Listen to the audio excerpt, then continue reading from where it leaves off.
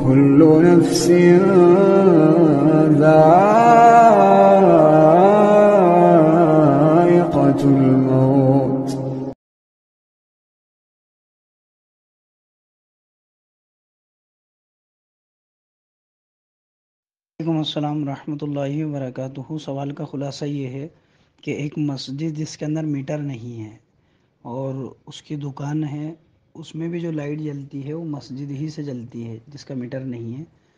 तो ऐसी दुकान किराए पे लेना कैसा है? और अगर मस्जिद वालों से तय कर ले कि मैं जो किराया दे रहा हूँ, वो मस्जिद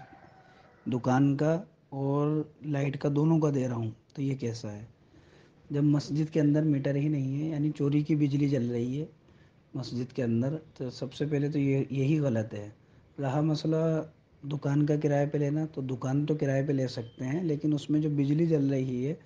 और हमारे इल्म में भी ये बात है कि इसमें मीटर नहीं, चोरी की बिजली जल रही है तो इसलिए उस बिजली का मस्जिद वालों को रकम अदा करना ये दुरुस्त नहीं है, क्योंकि वो तो खुद ही आगे रकम अदा नहीं कर रहे दुकान किराए पे ले सकते हैं, दुकान किराए पे लेने के बाद बिजली इस्तेमाल नहीं करें, बिजली के लिए अपना अलग से कोई मीटर लगवा लें, और उस मीटर का जो भी बिल आए, वो अदा कर दिया करें।